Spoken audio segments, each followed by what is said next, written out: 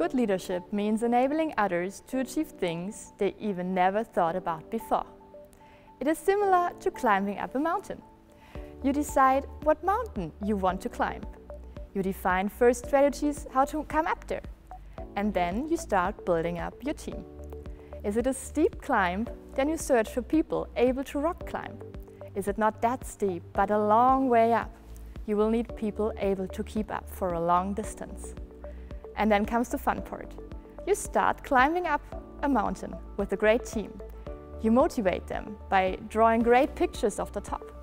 And you empower your people to grow with every challenge.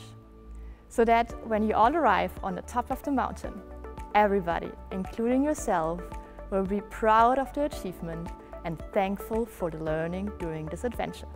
Good leadership stands for clarity, consistency, confidence, and emotional intelligence. Clarity, that means that everybody should be aware of what you are expecting, what is expected by each and every individual from the team. Consistency and confidence should mean that we are not going to change aspects, targets of leadership, and that we are giving confidence to each and everybody that we are doing the right things.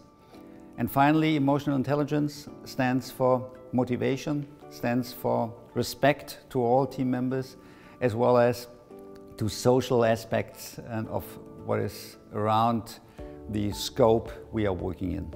I believe that good leadership is to empower others to be as productive as possible. This starts with the question, what's important? What are our criteria for success? These criteria are typically formulated very differently between stakeholders who often focus on certain aspects of the overall operation. It is the foremost task of a leader to clarify and to formulate the direction the institution is to take.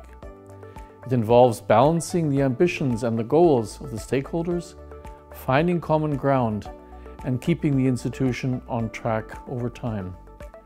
A good leader is able to translate between the different cultures of the stakeholders, helping them contribute what they do best to the institution.